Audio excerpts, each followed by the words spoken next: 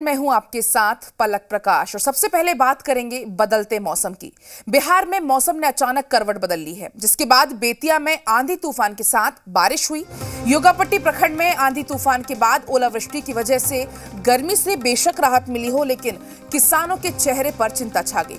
गेहूँ और आम की फ़सल को काफ़ी नुकसान पहुँचा है तो बारिश ने किसानों की चिंता बढ़ा दी है। आंधी, तूफ़ान से फ़सलों को काफ़ी नुकसान पहुँचा है, जिससे किसान परेशान हैं। हालाँकि इस दौरान गर्मी से ज़रूर लोगों को राहत मिल गई है, लेकिन किसान इसको लेकर काफ़ी चिंतित नज़र आ रहे हैं।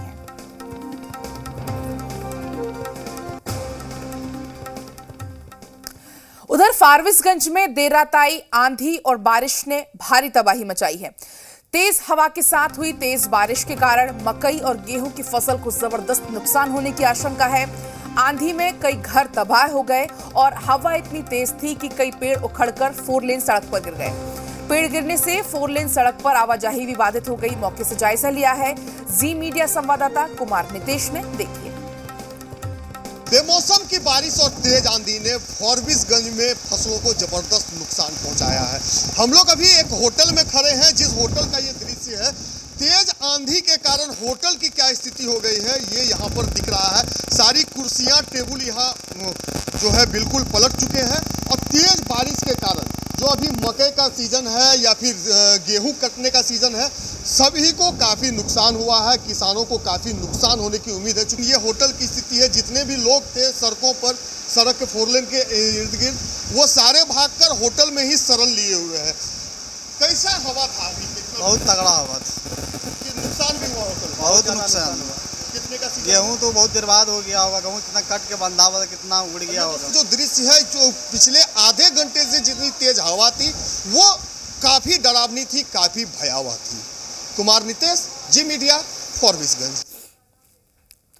चलिए खबर है शिवहर से जहाँ पर आंधी तूफ़ान ने कहर बरपाया है और ज़िले भर में आंधी और तेज हवाओं की वजह से काफ़ी नुकसान हुआ है।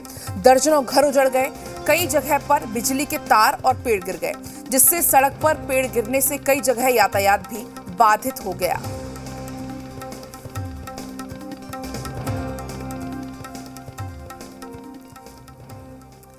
और इसी तरह मोतिहारी में भी तेज आंधी के साथ बारिश हुई। बदलते मौसम के कारण कई क्षेत्रों में बिजली व्यवस्था भी ठप हो गई।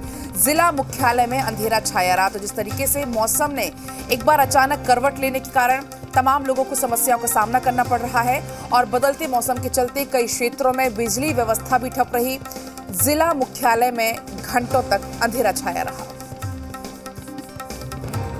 तो जिला मुख्यालय में अंधेरा छाया रहा, जिस तरीके से मौसम ने करवट ली है, इससे किसान भी परेशान है। किसानों की फ़सलों को भी काफ़ी नुकसान हुआ है और आंधी तूफ़ान की वजह से कई जगह पर तार टूटने से, तार गिरने से बिजली व्यवस्था भी ठप रही। जिला मुख्यालय में भी काफ़ी देर तक अंधेरा छाया रहा।